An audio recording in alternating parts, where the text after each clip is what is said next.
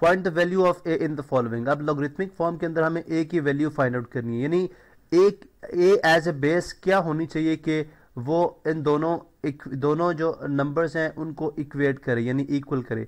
तो सबसे पहले तो हम इसको लिखेंगे इन इन एक्सपोनेंशियल फॉर्म ठीक है? इसको हम सबसे पहले इन एक्सपोनेंशियल फॉर्म लिखेंगे, ताकि उसके बाद हम वहाँ से इक्वेट करके फाइंड आउट कर सकें कि ये ए की वैल्यू क्या होगी। अब यहाँ पे देखें, हम बेसिकली ये बात करते हैं जी ए की ए की किस पार्ट के लिए ए की किस पार्ट के लिए हमारे पास जो आंसर है वो वन बाय ट्वेंटी फाइव आएगा? तो हम बात करते हैं जी ए की minus two by three part के लिए हमारे पास आंसर जो है वो वन बाय ट्वेंटी फाइव आएगा, ठीक है? अब फिर ए की वैल्यू क्या होगी? इस पर हम देख लेते हैं। ए हमने बात की जी माइनस टू बाई थ्री हो गया, ठीक है? Is equal to twenty five को मैं लिख सकता हूँ। Five, one by twenty five को लिख सकता हूँ, फाइव की पावर माइनस टू। ठीक है? यानी आपको पता है, इसको यहाँ पे मैं लिखूँगा, यानी अगर मैं इसको लिखता हूँ यहाँ पे just one by twenty five को, ठीक है?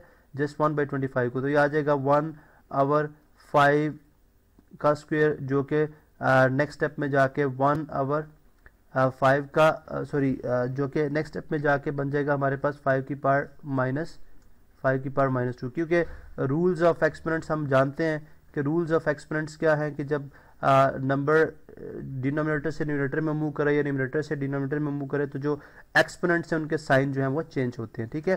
तो लिहाजा A raise to power minus two by three equal है five raise to power minus two अब हमने ये भी पढ़ रखा है कि अगर बेसिस सेम हो तो हम पावर्स को इक्वेट करा सकते हैं, या अगर पावर्स सेम हो तो हम बेसिस को इक्वेट करा सकते हैं, ठीक है? तो अब अगर यहाँ पे देखें तो हम यहाँ पे पावर्स को सेम यानी पावर को हम इक्वल रख सकते हैं। किस तरह से?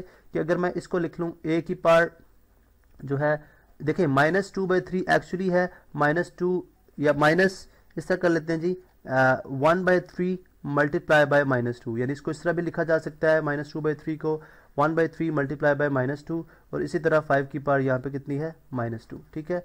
नेक्स्ट अगर आप यहाँ पे देखें तो आ जाएगा जी ए की पार आ, हमारे पास वन बाई थ्री इसकी होल पार जो है, अब कर लेते हैं माइनस टू और इसी तरह यहाँ पे आ जाएगा फाइव की पार माइनस टू ठीक है?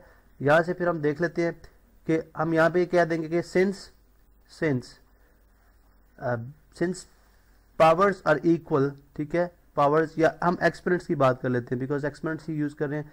Since exponents are equal are equal ठीक है? There we can equate bases या आप लिखेंगे therefore we can equate bases तो ये आ जाएगा जी ए की पावर वन बाय थ्री जो है वो इक्वल हो जाएगा फाइव के। अब चूँकि हमें ए की वैल्यू चाहिए तो हम लिखेंगे जी taking cube on both sides ठीक है? Taking cube on both sides यहाँ पे नीचे हमारे पास स्पेस नहीं, इसलिए हम राइट साइड पे आ गए taking cube on both side दोनों साइड पे अगर हम क्यूब ले रहे हैं, ठीक है? तो हमारे पास जो वन बाय यानी क्यूब रूट है ए के ऊपर ये वन बाय थ्री ये कैंसिल आउट हो जाएगा, ठीक है? यहाँ पे भी क्यूब ले लिया और यहाँ पे भी हमने क्यूब ले लिया। ये three one by three three से कैंसिल आउट हो जाएगा। ए हमारे पास किसके इक्वल आ जाएगा जी? वन ट्वेंटी फाइव के। Because five multiply by five is twenty five and twenty five multiply by five is one twenty five तो ये हमारे पास ए की वैल्यू होगी।